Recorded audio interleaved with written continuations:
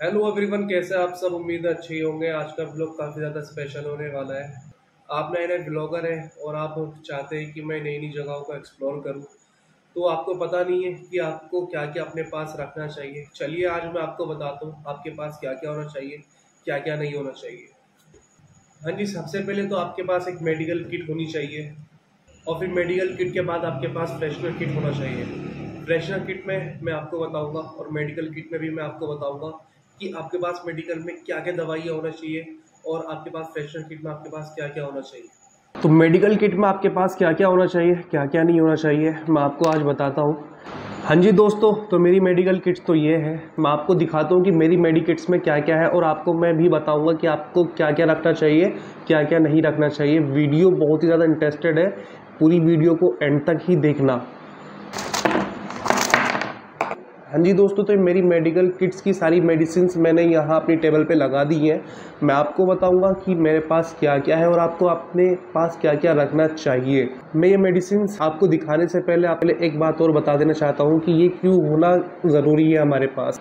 ये होना इसलिए ज़रूरी है, अगर आप कहीं पहाड़ों पे जाते हैं, कहीं आप ऐसी जगह को एक्सप्लोर करते हैं जहाँ पे मेडिकल आसपास नहीं है और आपकी तबीयत ख़राब हो जाती है तो आपके पास इनका होना बहुत ही ज़्यादा ज़रूरी है, क्योंकि मेडिकल कहीं पर होते हैं, कहीं पर नहीं होते हैं। ज़्यादातर मेडिकल पहाड़ी इलाकों में नहीं होते हैं। तो आपके पास अगर ये मेडिसिन है तो आपको बिल्कुल भी घबराने की ज़रूरत नहीं है।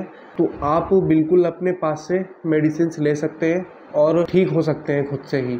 जैसे कि बुखार आ गया, आपको खांसी हो रही है, पेट दर्द हो रहा है, लूज मोशन हो रहा है, आँखों में दर्द हो रहा है, दाढ़ में दर्द हो रहा है, सिर दर्द हो रहा है और या आपके कमर दर्द हो रहा है, पैर दर्द हो रहा है या फिर आपके कहीं चोट लग चुकी है या फिर आपको खून निकल रहा है तो ये सभी वही दवाई है। कोई भी अनयूजफुल नहीं है, सभी यूजफुल है। बुखार की स्टिक ले लीजिए, फिर उसके बाद आप एक दाढ़ के दर्द की पूरी स्टिक ले लीजिए, पेट के दर्द की पूरी स्टिक ले लीजिए, खांसी जुकाम की पूरी एक स्टिक ले लीजिए। अगर आपको कमज़ोरी हो रही है, आप चाहते हैं कि आप अपनी कमज़ोरी मिटाना चाहते हैं तो आप पूरी एक मल्टीविटामिन का स्टिक ले लीजिए। अगर आपकी आँख दर्द हो रही है तो आप आई ड्रॉप ज़रूर ले लीजिएगा। कान के दर्द की भी और आँखों के दर्द की भी। आप जेल डालना चाहते हैं आँखों में ऑइंटमेंट जेल तो आप ऑइंटमेंट जेल भी ज़रूर ले लीजिएगा। आपकी कमर दर्द हो रहा है या कोनी में दर्द हो रहा है या आपके घुटनों में दर्द हो रहा है तो आप एक डिक्लोफेनिक जेल ले लीजिए। एक झंडू बाम भी ज़रूर ही अपने साथ रखें। आप सिप्लाडिन ऑइंटमेंट ज़रूर लीजिएगा। इसको मलम कहते हैं, आपके चोट लग है तो आप ये मलम अपनी चोट पे भी लगा सकते हैं। आपको ये भी लेना बहुत ज़रूरी है। बैंडेड तो ज़रूर ही लें, चिपकाने वाला और बैंडेज पट्टी वाला भी ज़रूर ही लें।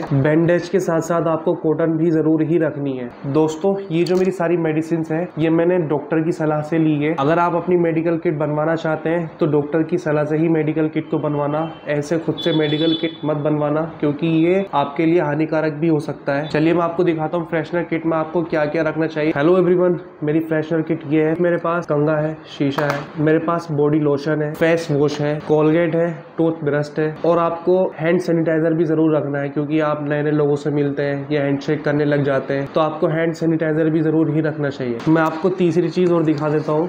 आपके पास लाइटर भी होना बहुत ज़रूरी है। आपके पास पेन भी होना बहुत ज़रूरी है। आपके पास नोटबुक का भी होना बहुत ज़रूरी है। वो इसलिए कि अगर आप कहीं घूमने जाते हैं या फिर आपको कुछ लिखना है तो आप सब इन चीज़ों में अपना लिख सकते हैं। ब्लॉग्स के बारे में लिख सकते हैं। अपने डेस्टिनेशन के बारे में लिख सकते हैं। किताब में आप सब लिख सकते हैं। इन चीज़ों का होना बहुत ही ज़रूरी है। और हाँ पैसों का होना बहुत ही ज़रूरी है आपके पास। फुल पैसा लेके जाए, क्योंकि कुछ नहीं पता कि कितना पैसा आपका खर्च हो जाए। और इंस्टाग्राम की रील्स के चक्कर में तो बिल्कुल ही ना पड़ेगी। दो हज़ार में आपकी ट्रिप वहाँ की हो जाएगी, पाँच हज़ार की ट्रिप आपकी, ले लद्दाख की हो जाएगी, कश्मीर की हो जाएगी, ऐसा बिल्कुल भी नहीं होता है। उनको व्यूज़ बटोरने होते हैं और कुछ नहीं, क्योंकि आपको अपने हिसाब से ही पैसा लेके जाना है, भरपूर पैसा लेके जाना है। तो दोस्तों, आपको मैंने अपने मेडिकल किट्स के बारे में बताया फ्रेशनर किट के बारे में बताया पेन कॉपी के बारे में बताया, पैसों के बारे में भी बताया कि कितना पैसा होना चाहिए, कितना नहीं होना चाहिए। मैंने आप, और रही कपड़ों की बात, वो तो आपको खुद ही अपने हिसाब से रखने होते हैं। और आपको मैंने ये सारी चीज़ें बता दी हैं। इन्हीं चीज़ों का ख्याल रखना है। ये चीज़ें होना बहुत ज़रूरी है आपके बैग्स में।